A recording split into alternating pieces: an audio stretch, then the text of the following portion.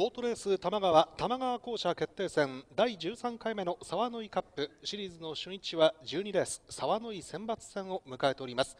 123456の待機行動バック側の6選手は1号艇斉藤仁2号艇伊藤誠二3号艇平田忠則4号艇福島祐希5号艇石田聖吾6号艇大平義明以上6名による競争です。さあこれからホームへ移ってくるのは高枠メインレース仕切り直しといきたいこの2走目です。1号艇斉藤仁そして2コースには2号艇の伊藤誠司が進んでいきます。1走目は伊藤混戦の中確定版入りとはしておりました。そして3コース前半は3着道中の追撃は届かずではありました。3番の平田忠則再びキャリアボデーを変えての競争です。ダッシュ戦4コース4号艇福島祐希先ほど8レースは2着。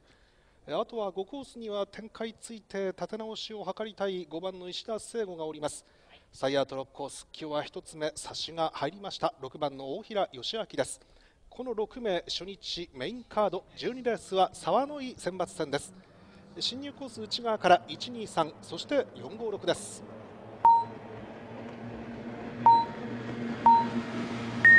12レーススタートが切られました。角から4番の福島が好発進動いてきます。仕掛ける福島。5号艇の石田聖吾展開を捉えてまくり差しバックストレッチ。抜け切っていきました。5番の石田聖吾が先頭。4番の福島は展開作るも2番手。3番手はまくり出しのハンドルから6番の大平とつけています。スタートは正常1番斉藤は苦しい位置です。さあ5番の石田から戻る。4番の福島は外を続くもここは体勢変わらず。3番手もそのまま先手から6番の大平となっていくか。その後方からは2番の伊藤が内伝いにその大平の懐接近判定心ほどか横に広がっています。さあ2周1マークの3番争いは6号艇大平義明がスピードをつけてそしてコンパクトにくるりと2番の伊藤が回してバックストレッチ。3番手はキープしました6号艇大平義明です。体勢そのままの5番4番6番の順。その後方は3、4停止につきましてスローからの戦いとなった3選手三つどもえです。6号艇の大平がそんな後ろの競り合いに絡まれることなく先手から3番手のままで戻ってきています。上の体勢は5番4番6番のまま最終周回に入っていきました。